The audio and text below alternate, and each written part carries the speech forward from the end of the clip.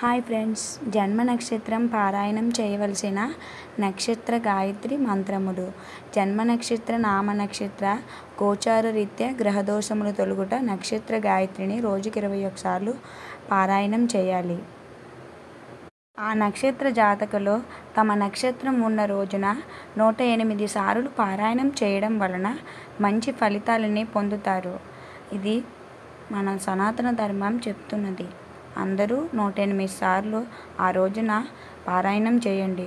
రోజు ఇరవై ఒక్కసార్లు మీ నక్షత్రం యొక్క గాయత్రి మంత్రాన్ని పారాయణం చేస్తూ ఉండడం వలన మీలో ఉన్న మంచి ఆలోచనలు పెరుగుతాయి.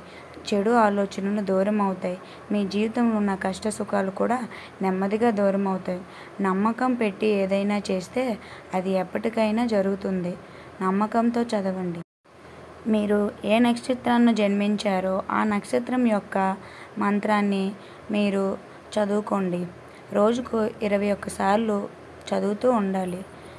ఇలాంటి మరిన్ని వీడియోస్ కావాలంటే మా ఛానల్ని సబ్స్క్రైబ్ చేసుకోండి.